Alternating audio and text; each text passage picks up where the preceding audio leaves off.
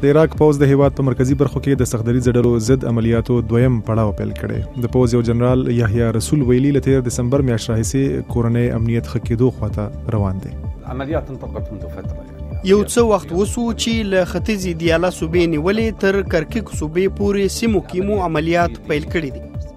عراقي پوځ وايي نه پرېږدي چې له شام څخه سختدریځه کسان ورواوړي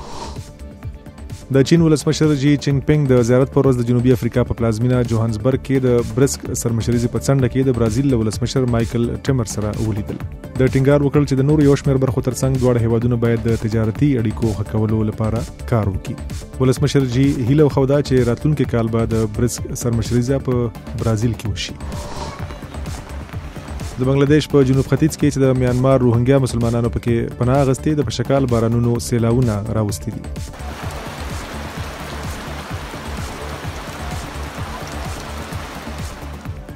چارواکو ویلي د شورو پورز د ځمکې خویدو په یو پیښه کې 15 ماشومان مړ شول او زرګونه خلک په کډو کولو مجبور شول مرستندوی ادارو خبرداري ورکړې چې د پشکال بارانونه د زرګونه خلکو ژوند اغیزمنول شي